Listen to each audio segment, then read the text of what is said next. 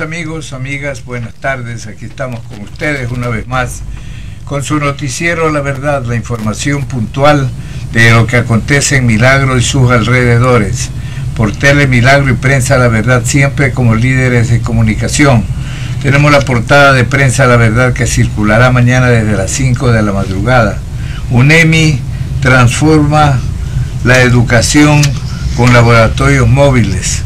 Esta es una verdadera innovación en cuanto a la educación, al aprendizaje. Un total, dice, de 7.708 estudiantes han tenido la oportunidad de beneficiarse con este proyecto, un proyecto que ya es una realidad. Tenemos también al alcalde y concejales que cumplieron un año de gestión, dieron su rueda de prensa dando a conocer las obras, las obras cumplidas durante el primer año. Homenaje exitoso a exitoso empresario milagreño que le hace la ciudad de Milagro sus amigos e instituciones. Esa es la portada de nuestro periódico. Y a propósito de, la, de los laboratorios, la información de la UNEMI, mi estimado Jan, si uno va, un amigo llegó de Alemania y uno va por la vía hacia el kilómetro 4 y se encuentra que Milagro se está transformando por iniciativa de la empresa privada, por la iniciativa de la Universidad Estatal de Milagro, que está prácticamente revolucionando el urbanismo en todo ese sector. Nos decían que se veía un, un desarrollo, y es verdad, sostenido de allí que quedaría muy bien la ampliación de la avenida 17 de septiembre hasta el kilómetro 4, hasta La Piña, hasta el terminal, porque allí tenemos a BINFA, tenemos la universidad y tenemos también una serie de empresas que se están instalando y que van a ser eh, el nuevo milagro, el milagro del futuro, el milagro que queremos todos de una ciudad moderna. Su comentario. Así es, recordándole que estamos eh, saliendo a través de Instagram y de YouTube, independientemente del Facebook, para tener oportunidad que en cualquier momento del día ustedes puedan ver el reprise de esta emisión de noticiero. Sí, efectivamente, a partir de las 12, una de la tarde y de las horas pico, prácticamente se hace un nudo de botella, un cuello de botella, perdón, se hace en esta arteria que usted lo ha dicho. Eh, está la universidad con la gran cantidad de alumnos, colegios, el direccionamiento hacia la terminal terrestre, en fin, será materia también de análisis. Yo creo de poco análisis porque el objetivo es claro, ampliar la avenida. Pero seguimos con la noticia, se fue la semana en un abrir y cerrar de ojos. Los, viernes. Sí, lunes y después viernes rapidísimo. Los elementos del Departamento de Operaciones de la Policía Nacional, Distrito Milagro, se encuentran desplegando en 81 instituciones educativas de nuestro cantón. El teniente David Soto enfatizó que han prestado mayor atención en aquellos sectores de la ciudad calificados como conflictivos. Buenos días, soy el teniente David Soto, encargado de la Oficina de Operaciones del Distrito Milagro. Eh, es mi deber informar que nosotros como parte del Departamento de Operaciones del Distrito de Policía Milagro eh, actualmente se encuentra desplegado todo el personal, tanto administrativo y de policía comunitaria y de patrullaje a pie, donde se ha visto desplegados específicamente en 81 escuelas que tenemos aquí en el centro del Cantón Milagro. Eh, obviamente por el tema de podemos cubrir con todos, pero se ha tratado de cubrir especialmente las principales escuelas, eh, unidades educativas y colegios y las más conflictivas. Eh, les pongo un ejemplo como puede ser la, unidad educativa Otto Rosemena, Velasco Ibarra, eh, la Alborada, entre las más conflictivas. Me, me hago este énfasis en conflictiva refiriéndome a qué donde hemos tenido novedades como son robo de estudiantes y robo de autopartes de vehículos y motocicletas. Entonces es ahí donde nosotros nos enfocamos, donde ponemos eh, patrullaje a pie para que se note la presencia eh, policial y hacer un trabajo preventivo y disuasivo con la comunidad. entre esas tenemos la escuela 17, 17 eh, de septiembre, escuela Esporadich y el Colegio Técnico Milagro. De igual manera hemos venido trabajando con la recuperación de espacios eh, públicos con el personal de policía comunitaria.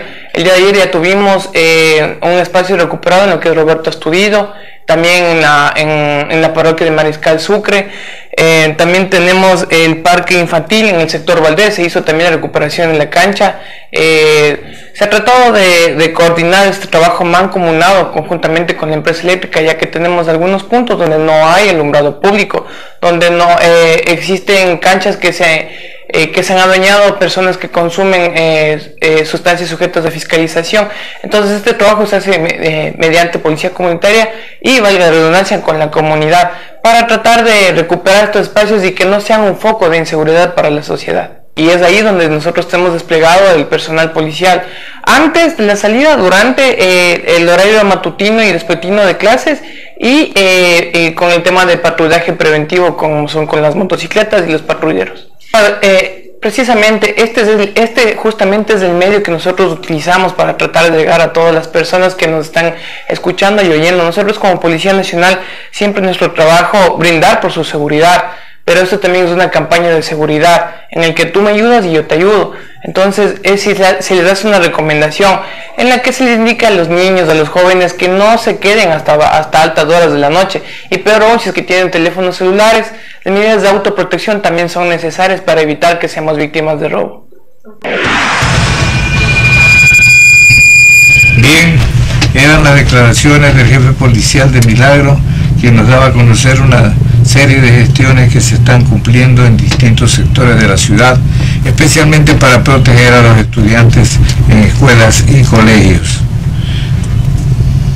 Hay que indicar que, que la demanda es extensa, habla de más de 80 instituciones educación, educativas en zona del centro, sectores marginales y también incluso del, del agro, indicó la parroquia Mariscal Sucre, Roberto Astudillo, que tienen colegios con una importante cantidad de, estudiantes.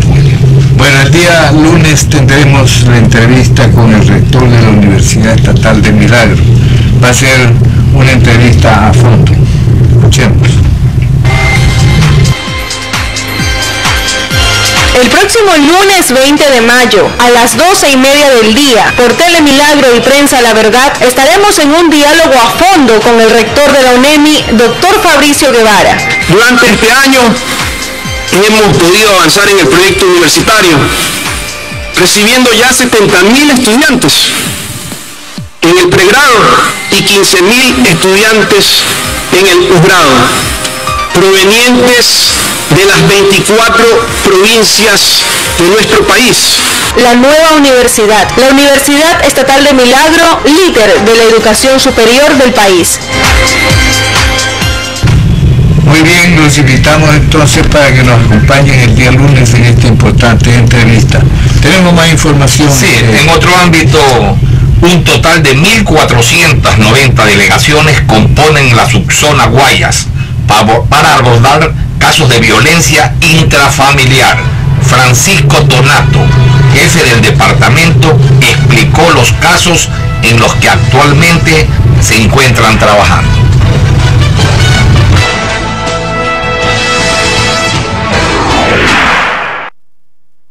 Buenos días, soy el capitán de la policía Francisco Tonato, jefe del Departamento de Violencia Intrafamiliar de la subzona Guayas. Nuestra unidad efectivamente al momento dentro de la subzona Guayas tenemos un total de 1.490 delegaciones, casos de violencia intrafamiliar por diferentes, eh, diferentes delitos, ¿no? de los cuales se ha dado cumplimiento y se ha puesto ya a órdenes de la autoridad competente. De igual manera tenemos 14 detenidos.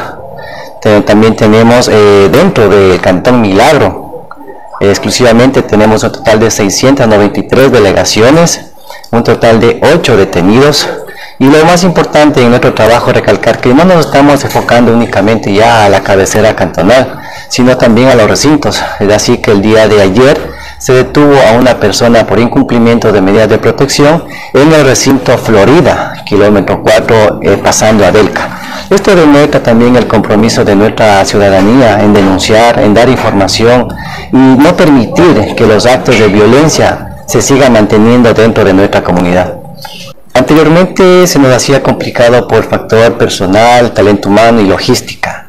Hemos tenido eh, varios acuerdos, tanto con el GAD municipal, con la Junta Cantonal de Protección de Derechos, con las unidades eh, ancladas de la Policía Nacional como Paquito Policía, Polco, Migración, UPMA, en los cuales se han unido los esfuerzos pues y se está llegando con nuestra información, con nuestro trabajo a los diferentes recintos, lo cual es bien aceptado por la comunidad y ahí están los resultados, las denuncias, la información que facilitan y nuestro trabajo es detener a estos infractores de la ley y ser puestos a orden de la autoridad competente.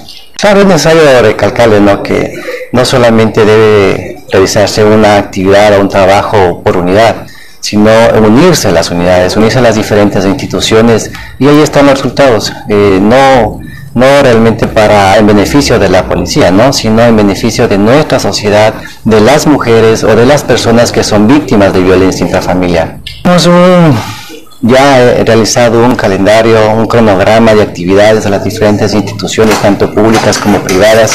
Eh, hay que tomar en cuenta que la semana anterior recién empezaron actividades escolares, todavía han pasado en repasos como indican los docentes y a partir ya de a, finales de este mes pues empezaremos nuestra campaña eh, que se denomina Yo vivo sin violencia, se parte del cambio, eh, Yo vivo mi niñez, mi adolescencia sin violencia y de igual manera yo manejo mis redes sociales con responsabilidad, que está dirigido a los estudiantes, padres de familia y docentes. Nuestras oficinas están ubicadas en el edificio del CAC, Centro de Atención Ciudadana, bloque B, planta baja.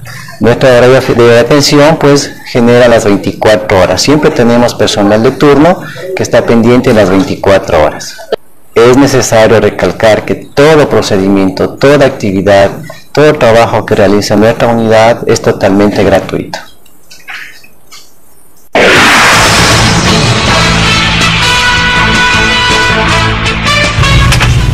Bien, la ciudadanía de Milagros se encuentra segura en estos últimos tiempos gracias a la acción policial que se viene desplegando y a que también eh, estado de excepción y otras medidas que ha tomado el gobierno nacional permiten que la gente se retire de sus casas sin amanecer, sin estar hasta altas horas de la madrugada. Pero hay que añorar, este, ya usted también vivió su juventud en Milagro, porque usted es milagreño de cepa como lo somos nosotros. Vivimos aquí de, toda la vida.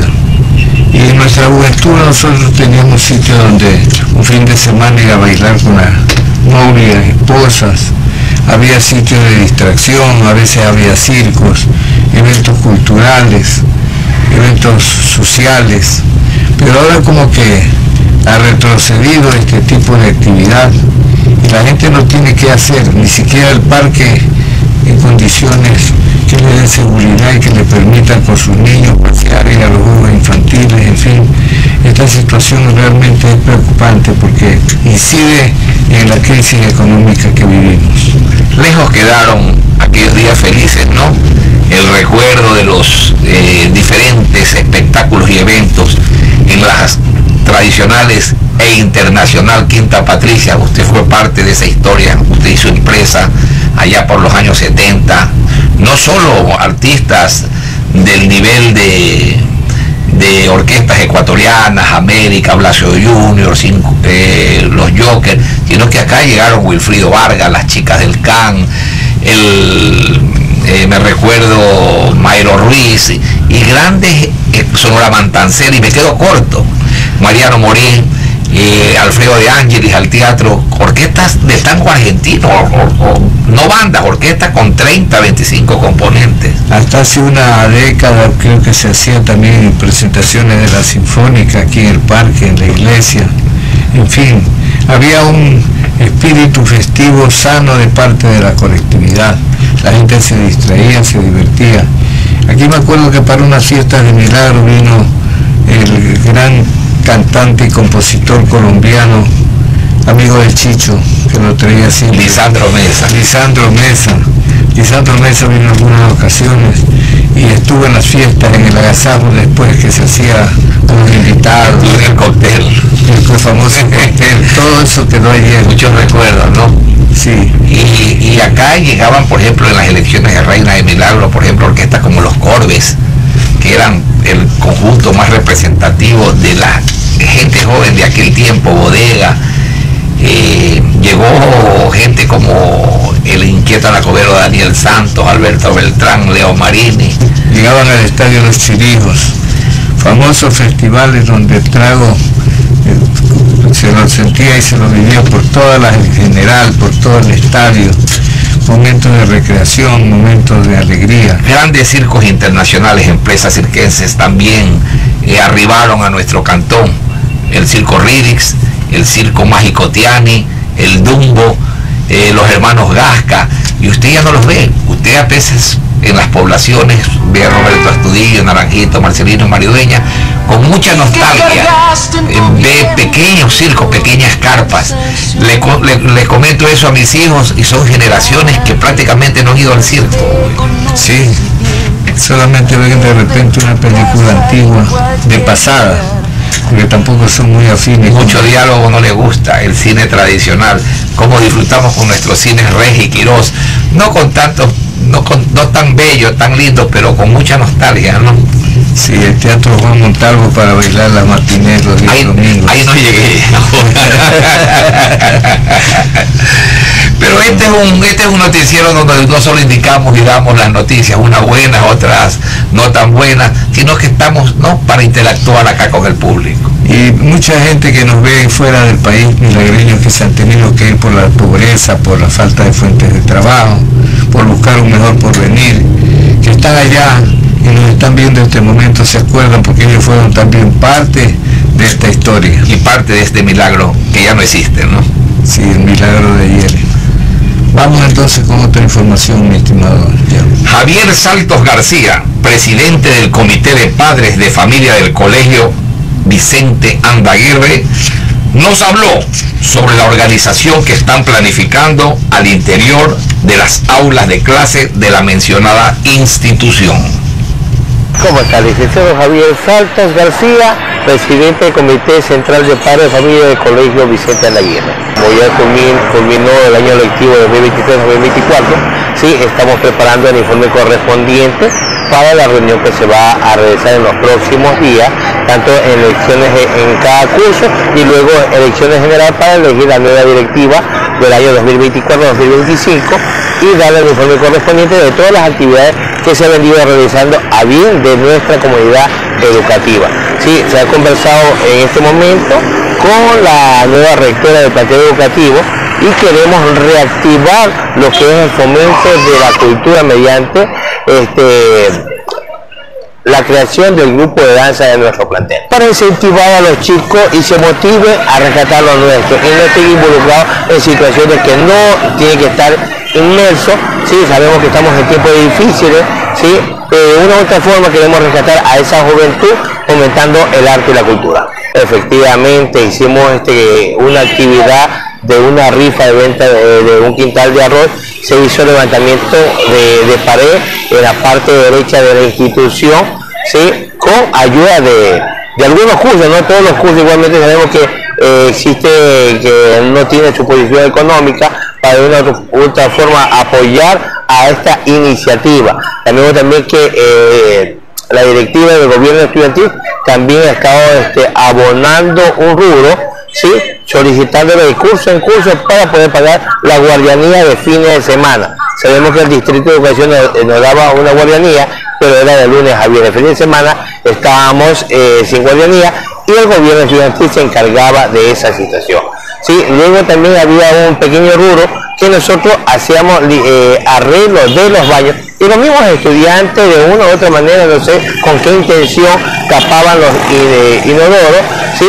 y nosotros teníamos que reponerlos, arreglos inmediatamente por el bien de la comunidad. Llamados telefónicos, este, alerta, se prendía la sirena porque había personas ajenas a la institución llevándose lo- los, los ca- cableados por el cobre que tiene para hacer este, las ventas en estos lugares de reciclaje. Que hay un plan de contingencia entre la máxima autoridad del Distrito de Educación, la Policía Nacional y eh, la autoridad del, del colegio están, eh, tienen un plan de contingencia eh, en caso de robo. Lo que sí necesitamos en este momento, y hago un pedido a EMOVI y al gobierno local los agentes de tránsito, lamentablemente existen vendedores ambulantes, los mal llamados mototaxis, que obstaculizan el paso de los estudiantes al ingreso, al ingreso y a la salida del viaje.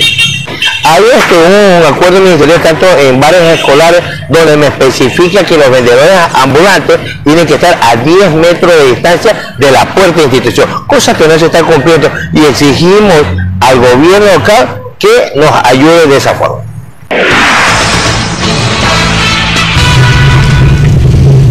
Estimado Jan, muchos se preguntarán por qué el nombre de Vicente Anda Aguirre a este plantel de segunda enseñanza y de gran envergadura, de gran posicionamiento dentro de la educación de Milagro.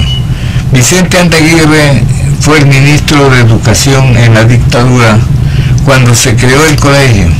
Él era el ministro de Educación y dio paso a esta aspiración y lucha de los padres de familia de la zona de la ciudad de Los Pinos, Business, 17 de septiembre, etcétera, sector aledaño a la avenida Colón, Nuevo Milagro, en fin, y se, hizo realidad el colegio. Creo que fue en la administración de, o el rectorado de Antonio Muñiz. El colegio general Vicente Anda Aguirre, eh, en su primer, eh, el primer establecimiento fue, funcionó en lo que corresponde a la avenida 17 de septiembre y calle Ambato. O sea, estamos hablando donde eh, hoy, cuando fue la escuela Eugenio Espejo también. Ellos ocupaban el local, entiendo que por la tarde, mientras por la mañana funcionaba eh, la escuela, o sea, funcionaba en horario despertino. De allí pasaron a la eh, en las calles que está entre la Carlos Julio Arosemena, bueno, en el sector de la Colón más adelante, como usted lo dijo, en el sector sur de la ciudad. Pero hay una cosa peculiar, una cosa que hay que destacar, que realmente es mi posición y creo que la de muchos milagreños, no sé si la suya, William, que, el nombre debió ser Humberto Guevara López, el que recogió las firmas, el que se movió, el que iba al magisterio, el que viajaba a Quito, un, un reconocido personaje del cantón, don Humberto Guevara López. Eh, él fue punto y aparte en esto y yo creo que ya no se va a rever, pero el mismo caso sucede con las arterias, con las calles y las avenidas. Eh, este señor Andaguirre a lo mejor ha sido un buen cristiano, como se dice en el argot popular, pero en la influencia e incidencia dentro de la creación del plantel no tiene ninguna. A veces hay egoísmo de parte de gente atrasa pueblos, que atrasan la ciudad, el desarrollo, el progreso, que se oponen a algo que podría ser muy justo.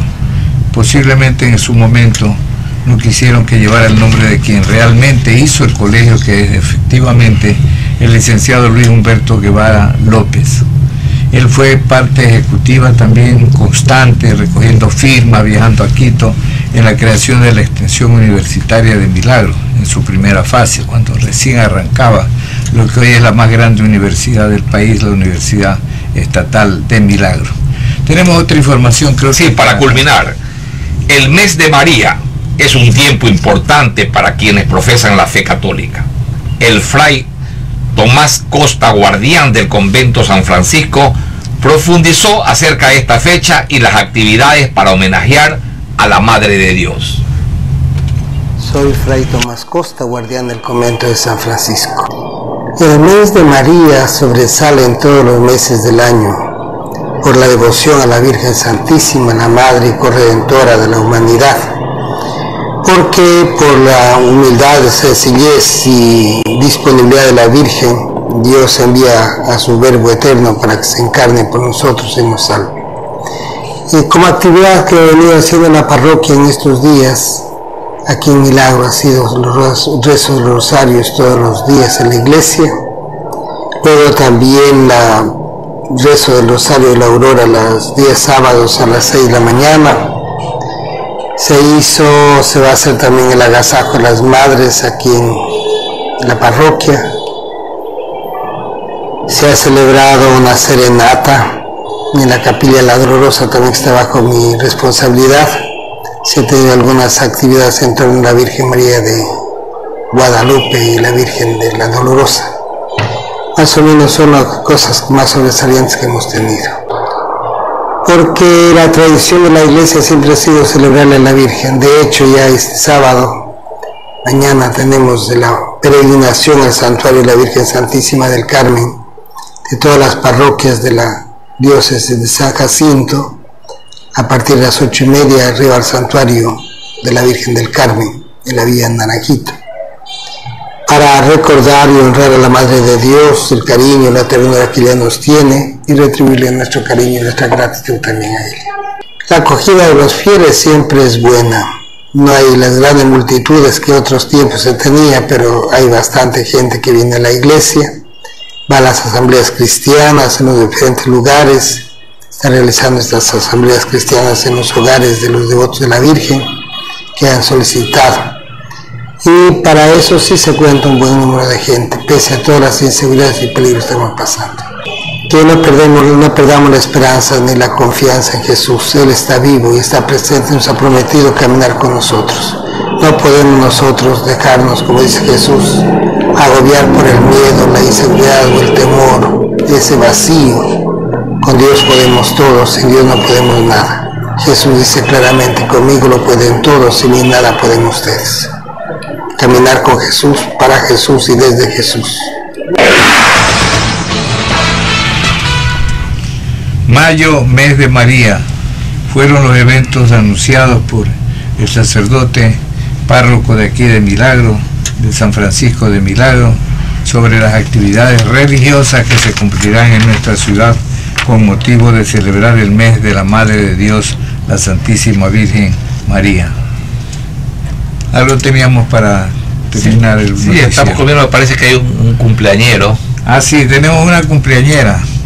Se trata de Linda Ramírez. Linda. También colaboradora acá del. Estuvo en el primer noticiero. Sí. Pero luego por sus actividades no ha regresado, pero ya la tendremos aquí colaborando con el noticiero La Verdad en las redes sociales de prensa La Verdad. Sí le pusieron fondo musical. Bueno, se la debemos. Se la debemos y le deseamos que sea muy feliz siempre, que hoy día, fin de semana que seguramente va a pasear, a divertirse, que sea muy feliz en unión de todos sus familiares. Ya nosotros le deseamos a la gente que se divierta también sanamente este fin de semana. Me uno a ese propósito. Felicidades con todos.